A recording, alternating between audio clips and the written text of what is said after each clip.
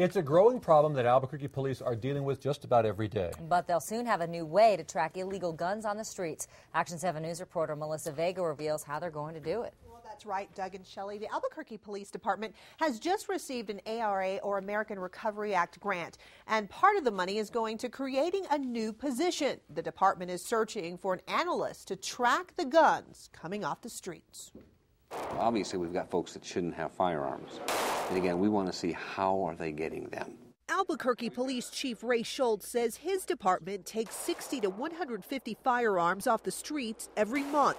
Soon, police will have a better grasp of where these guns are coming from. Everyone says, well, they'll steal the gun. Well, we don't think necessarily a lot of these guns are stolen because they're not coming back as being entered into NCIC. So they're obtaining them through a different manner.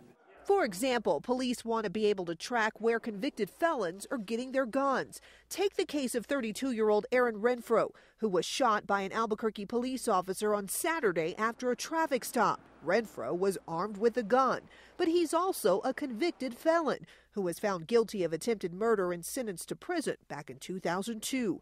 Under this new grant, police will have someone designated to track the gun Renfro had in his possession.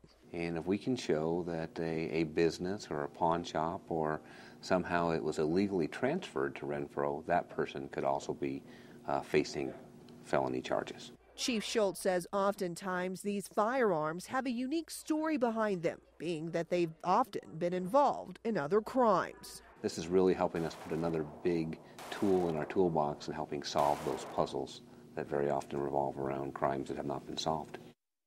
Now, APD is currently in the process of trying to hire someone to trace the guns for the department. They hope the position will be filled by next month. Back to you. The chief says this is all part of the city's new property crime initiative. Well,